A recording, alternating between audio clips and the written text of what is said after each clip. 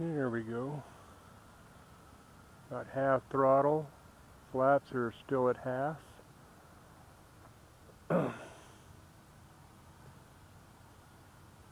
this is with the props counter rotating inward instead of outward.